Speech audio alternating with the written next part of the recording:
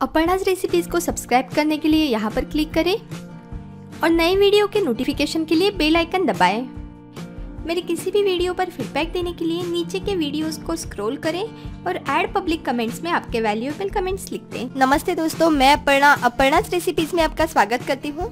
आज मैं आपके साथ शेयर करूँगी बहुत ही क्विक और सिंपल कच्चे आम के अचार की रेसिपी ये खट्टा मीठा, थोड़ा सा तीखा अचार बनाने में बस पाँच ही मिनट लगते हैं। पर ये किसी भी खाने के साथ सर्व करो तो खाने का मज़ा ही बढ़ा देता है। आप इसे व्रत में भी खा सकते हो। और सबसे अच्छी बात, हम इसमें बिल्कुल भी तेल नहीं यूज़ करेंगे। तो चलिए इस हेल्दी और टेस्टी अचार को बनाना स्टार्ट करते हैं।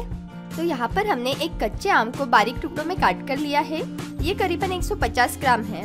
अब हम इसमें डालेंगे साधारण एक छोटा चम्मच लाल मिर्च पाउडर, स्वादानुसार नमक यहाँ पर ये हमने थोड़ा सा गुड़ घीस कर लिया है। इसमें से साधारण एक बड़ा चम्मच गुड़ हम इसमें डालेंगे और इन सारी चीज़ों को बहुत अच्छे से मिक्स करेंगे। लाल मिर्च पाउडर और गुड़ को आप आपके टेस्ट के हिसाब से थोड़ा सा कम ज़्यादा कर सकते हो।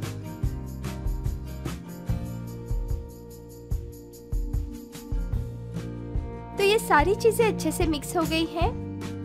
आप देख सकते हो गुड़ भी इसमें अच्छे से पिघल गया है। और ये अपना थोड़ा सा तीखा, खट्टा मीठा, झटपट आम का अचार रेडी है। इसे आप तुरंत भी यूज़ कर सकते हो पर बहुत बढ़िया रिज़ल्ट के लिए आप इसे दूसरे दिन से यूज़ करना स्टार्ट करें। तो आप भी ये बिना तेल का झटपट आम का अचार ज़रूर ट्राई करें और अगर आपको ये अच्छा लगे तो इस वीडियो पर लाइक करें। फिर मिलेंगे एक नई रेसिपी के साथ, पर उसके लिए मेरे चैनल पर सब्सक्राइब ज़रूर करें।